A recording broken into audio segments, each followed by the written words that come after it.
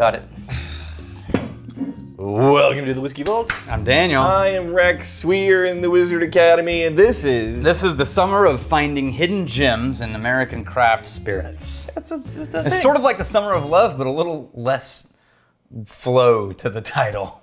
but just as much booze.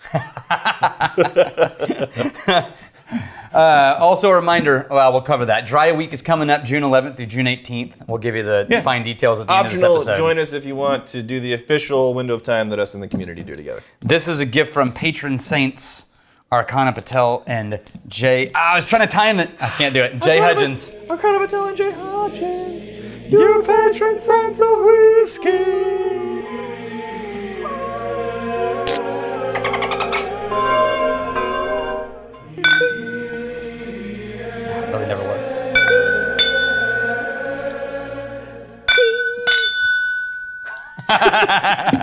I don't know what that is. Throwing off the ceremony.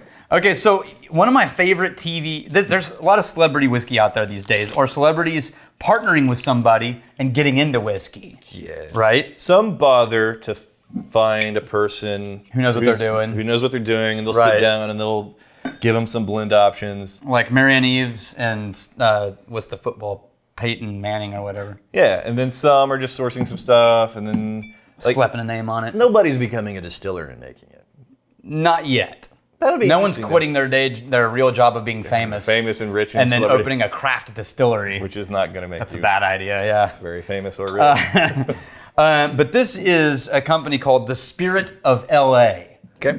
And these guys are uh, finding other distilleries and sourcing things, Yeah. and then uh, doing other stuff to it. This one, for example, is 94% corn, 4% rye, 2% malted barley. Mm-hmm. They're bringing it in and blending it. It's called American. Their release American whiskey. This is Mulholland Distillery. yeah. Or no, no, Mulholland Distillery. American whiskey. But this is the distillery. The distillery is the Spirit of LA. There's no distillery. what is Mulholland Distilling? Distill. Well, they, they call it Mulholland Distilling. It's a sticker. That's their brand. Yeah. Mulholland Distilling. This, yes, Mulholland Distilling. You tagline. deny the sticker? No, no, I don't deny the sticker. It is Mulholland Distilling, the spirit of LA.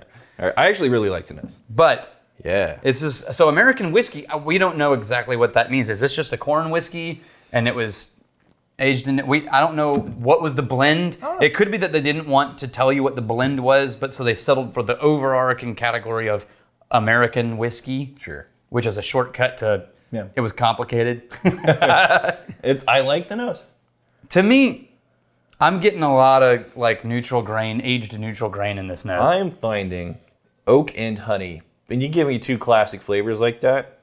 Yeah, but there's a there is a metallic brittleness to this nose So it's very sugary. that and- reminds it's me sugary and bright. of blended whiskey, American blended whiskey. Well, I think that's what it is, though. I don't know. It didn't say blended though. I don't know. It's 100 proof, so they went for a reasonable proof. I wouldn't have guessed that proof. Me either. It is much lighter Mm-hmm. in the nose than that. Eh, I don't know. Mm. I'm acclimating to the notes now. Now the uh, It's just slightly sugary and metallic. yeah, the oak is giving way for almost like a slight rubber note. It tastes identical. This is a mixer cocktail recipe whiskey. yeah. That's just going to provide for the cocktail what it needed to be in the whiskey direction. Very simple. Kind of flat, even for a hundred. I'm not still not getting that blend. I mean that that proof. Yeah, I would have guessed like 45. Yeah, or lower. Yeah.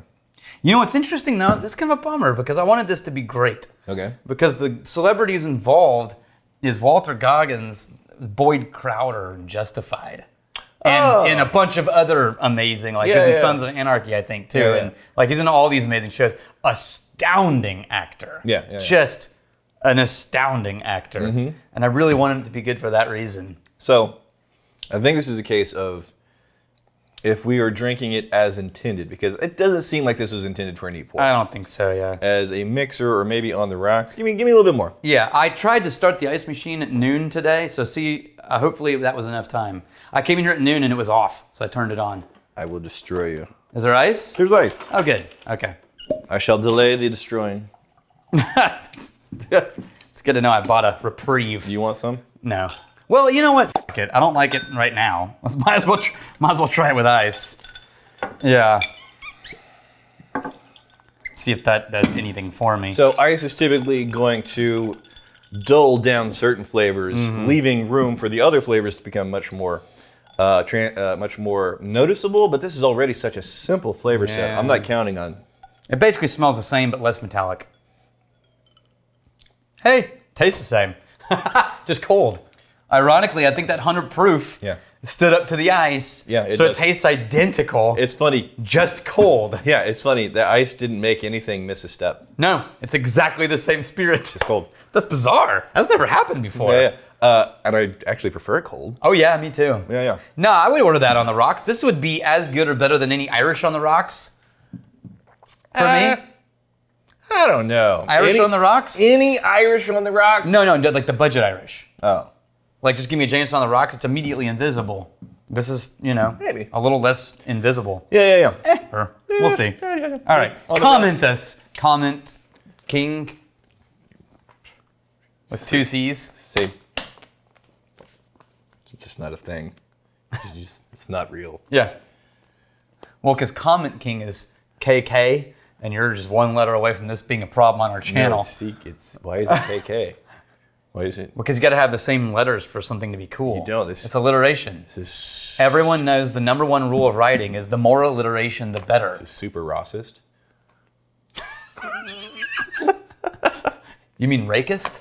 I, my bad.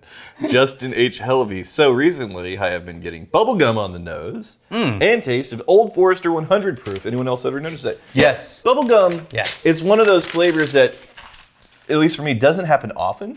Yeah, but but whenever when it it does, does, it's like, it's- ah, And it's bubblegum. specifically bubble gum, not a specific flavor. Yeah. But generic bubble gum, like Big League Chew. Big League Chew or bubble tape or. Bubble tape. Ah, I forgot about bubble tape. Yeah. That was fun. I think Bubblicious. I don't know. That was okay. Bazooka was for sh.